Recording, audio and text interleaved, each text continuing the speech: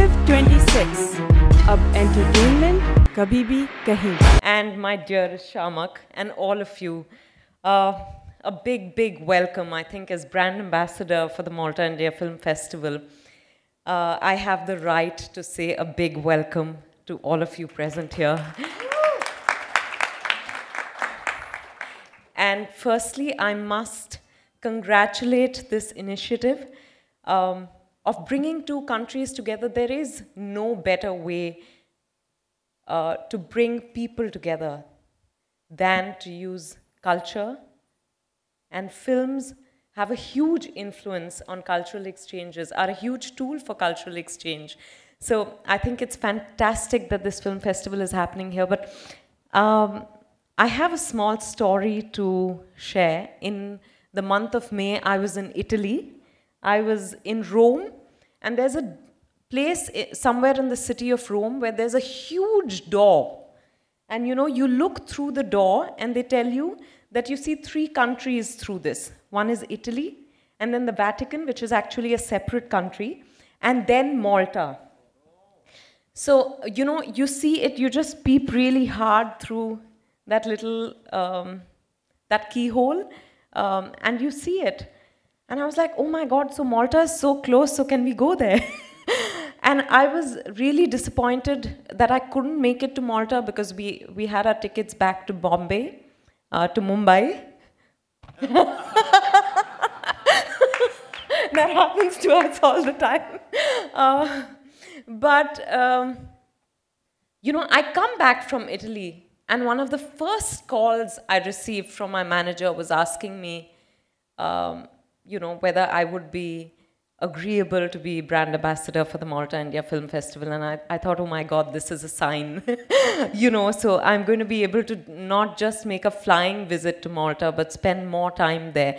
I've read over the years that Malta is probably the country that has the best weather throughout the year.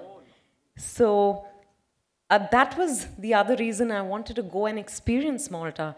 And now I'm, I'm going to get to do it thanks to this festival and go there with a purpose, you know, to watch the Maltese films, to show Indian films, um, and just, I think, breathe in that, that, um, give me a word air that air which is so full of um, love sharing and uh,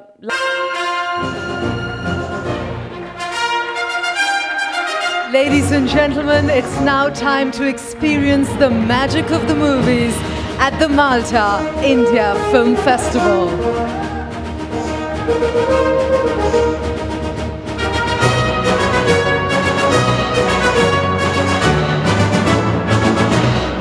इसके कि मैं um, वहाँ एक जरिया बनूं कि you know uh, दोनों तरफ़ के प्लीज़ कंटिन्यू हैपन अब आजकल मीडिया पे बड़ी पाबंदियाँ हैं क्या करे? पीआर भी नहीं जोड़ रहे हैं नेता भी नहीं जोड़ रहे हैं। प्लीज़ कंटिन्यू उसके बारे में मैं कुछ नहीं कह सकती।